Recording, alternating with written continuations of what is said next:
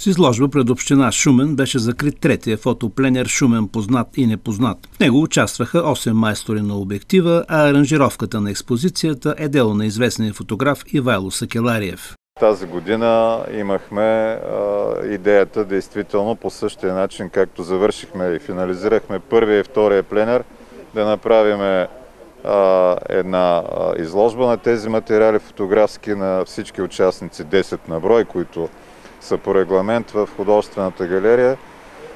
За съжаление не може да се случи това, но тук пред сградата на община Шумен решихме, че е удачен вариант да бъдат изложени тези фотографии, които предпочетоха да предложат пред шуменските граждани и шуменската публика, участниците в пленера.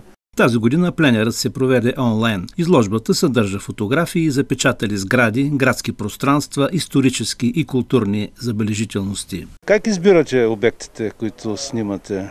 Какво ви кара да се насочите към тях?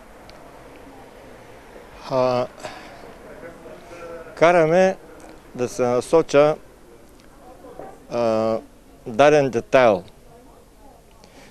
а, дадена ситуация от светлината, а, светлините условия в момента, в които са налични, тъй като по всяко време на деня светлината е различна и след това просто не се повтаря.